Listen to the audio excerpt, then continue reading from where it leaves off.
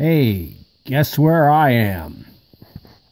Does that uh, shade of blue and the uh, spider sacks and the floor give you a clue? I am under the Bendix. Again, because there's been a little progress. And uh, in my past video, which you should go and maybe review, uh, I complained about the casters being broken. And there's the remains of one of the casters. The two front casters on this machine are, well, they're broken. You can see uh, the wheel is gone. In fact, I don't even know if I have that part. And, you know, the, the remains, I think that's what I have. They're gone. Forget it. Now, uh, the two in the back are still intact. You know, they're probably just getting beaten. You know, right now it's on a, a big refrigerator dolly, uh, held up by the bucket of transformers. And, well, there's, there's no more transformers anymore because, uh, well, hey, guess who's come to uh, crash the party? Come on, get out of there. Anyway, uh, I took, um, let me just shove him out of the way. Get out of there. Um, 1,300 pounds of transformers, scrap transformers to the uh, the scrapyard. Boy, was my van not happy. He's look at that. He's what a ham. Get out of here. Anyway, good news. I was searching around for for uh, uh, a suitable caster because you know my original plan was to uh, make an adapter plate and uh, go and get some casters uh, some pretty standard casters and, uh, you know, mount them, adapt them so they work properly. Um, yeah, it was kind of a messy operation and yeah. But the good news is I've actually found some casters that might work. So introducing this guy here. This is from Revvo, R-E-V-V-O. Uh, I found these in the Grainger catalog, and um, they are pretty heavy duty. I like them a lot. Now, you have to realize that this, this Bendix, this machine weighs a thousand pounds. So, yeah, it's each caster has about a 250 pound load. You know, there's going to be a little variation depending on the, the center of gravity and all that kind of business.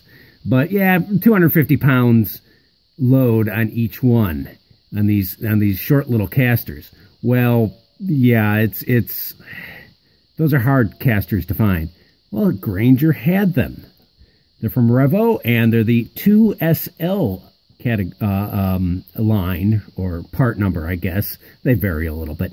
And these little stinkers are uh, rated for 350 pounds apiece.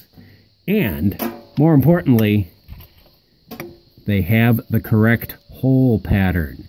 This is a weird pattern. It's it's two by two, and that's um, two from the two inches from there to there, two inches from there to there. It works out to like one and seven sixteenths or something, something along those lines. But uh, two by two in this diagonal pattern, and that matches what the old casters are. So hey, I might have drop-in replacements. Well, not quite, not quite. The problem being is, you can see there, and there, some uh, machine screws coming down. Those are holding a transformer. And uh, that transformer sort of there. Uh, not this one, but uh, this one here. And uh, that's what's used to mount the transformer. They might those those machine screws might actually get in the way. Let me reposition here a little bit. And you can see the diameter of the plate. I think these things are called plate casters. So let me get that in frame here. Is well, it's about what? Mm, it's kind of a weird profile. You can see. Uh, yeah, it's about two and a half inches. It might actually interfere with that. If I mount it in these holes, these may get in the way. So I don't want to drill any new holes in in the uh, the good old uh, iron here of the Bendix. So yeah, I think there's going to have to be an adapter plate.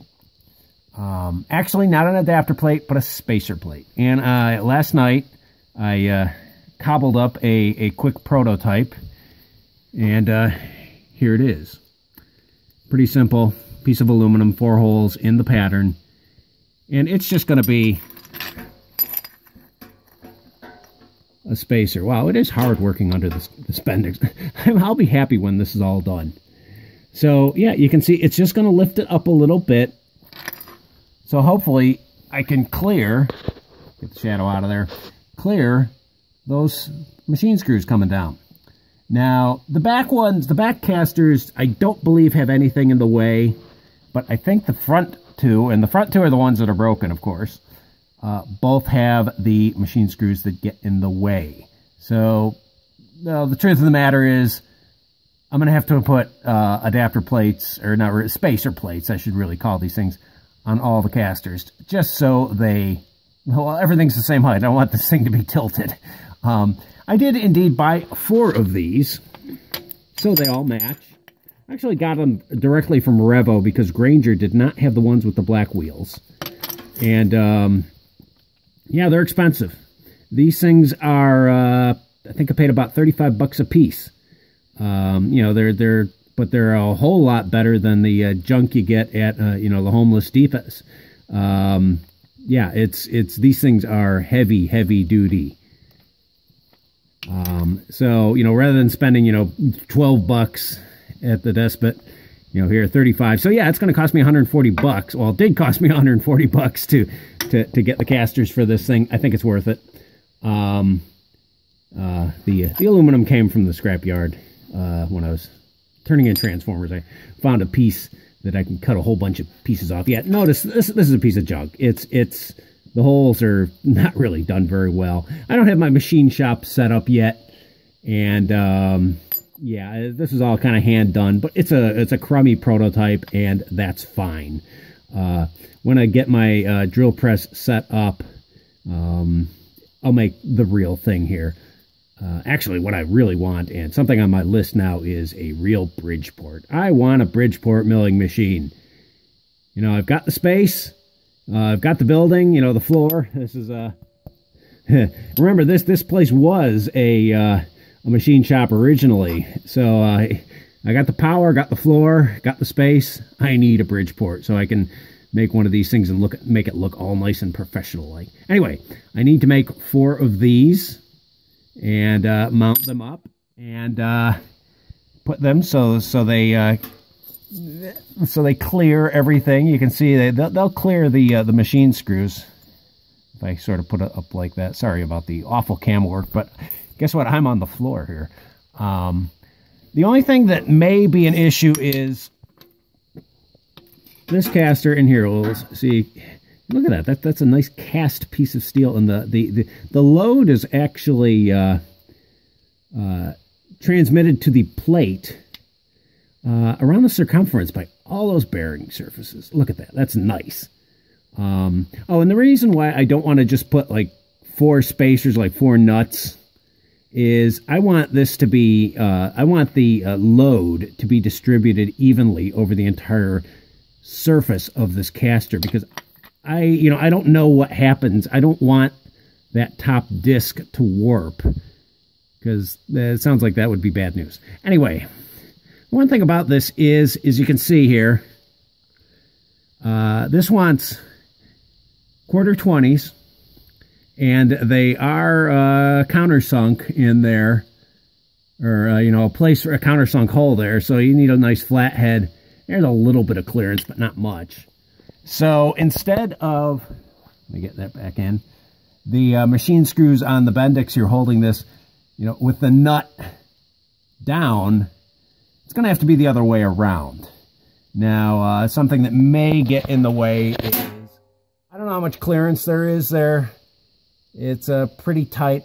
I may have to put spacers under the transformer uh, just so I can get a nut uh, get the four nuts in there. Well, actually two nuts because it looks like two of them are uh, pretty, uh, uh, pretty, pretty, pretty clear. Um, but yeah, I may have to space up the transformer a little bit. And I'll use jam nuts so they're pretty small. Uh, you know, these things are only taking uh, uh, the load straight through the uh, um, uh, straight through the machine screw. There's no shearing or load on the screw, so you know it, it's it's the nuts just there to keep the bolt from falling off, pretty much. Um, so that's pretty much the plan. So uh, yeah, it's I was extremely happy to find these casters. Let me get it there. I think this may be the uh, the caster of choice for me because I have a lot of things that uh, that uh, need casters, and I like this this low profile design with a lot of load. Rutherford, get out of here. He's he's trying to get in the picture again. Um, because I have a number of things that uh, that CDC and IBM, for some reason, made a, a, bunch of equipment that does not have casters. You cannot roll the stuff around. And uh, I want to be able to roll it around, so I'm going to make a little, like, cradle carts, almost. And I want them to be nice and low profile. And yeah, it's going to cost me 140 bucks a set, plus all the incidentals. Um, but that's fine. You know, these things, these things are uh, heavy duty. They're going to last me a long time. So yeah, uh, that's that's about it. So yeah, I was extremely happy to uh, find these casters. And uh, okay, Rutherford's gone. Uh, extremely happy to find these casters. They look like they're just about what I want. No, they're not perfect, but I think they're as close as I'm going to get. I've spent a fair amount of time looking for a suitable caster, and uh, I think that's it. So yes, Revvos. I think they're made in the UK, and they are nice. I'm very pleased with them. Very pleased with the company. They they they ship these things out right away. Um, very professional. Very professional. Uh, so yeah, progress. We'll get this Bendix go going again, or at least rolling pretty soon, so I can get out of the way. It's still kind of fouling the uh, the shipping dock here. Um, so yeah, hope you like the video. Give me a like, helps me out maybe subscribe if you want to see some more progress. It's going to be a long-term project, but hey, there's going to be a lot of videos coming up on all sorts of interesting stuff. And yeah, go ahead and watch my old videos. There's some cool stuff there. Yeah, not much production value, but hey, I'm getting better, hopefully. And yeah, sorry about this one with the poor light and the poor acoustics and the poor everything and the poor acting by the cat. Be okay, well, whatever. Back to work. Talk to you later. Bye.